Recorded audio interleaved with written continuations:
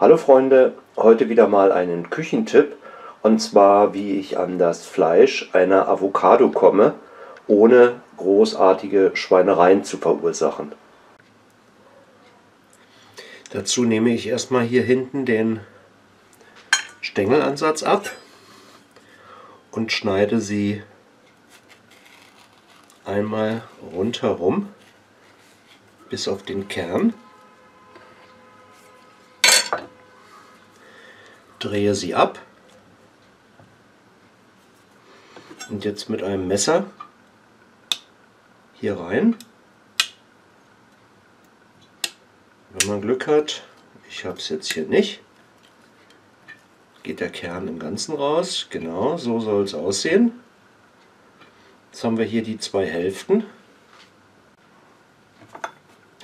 Jetzt nehmen wir uns hier einen Löffel und fahren ganz dicht an der Schale entlang.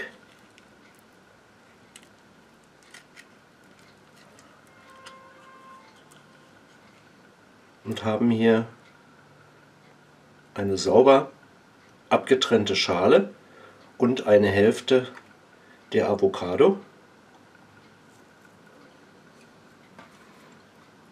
Gleich nochmal.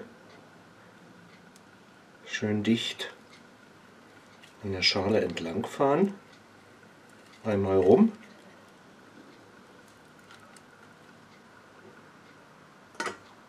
Und wieder schön getrennt.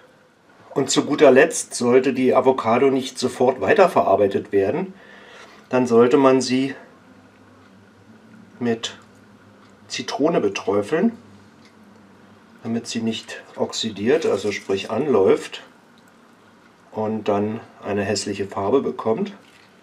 So, das war mein Küchentipp zum Thema Avocado.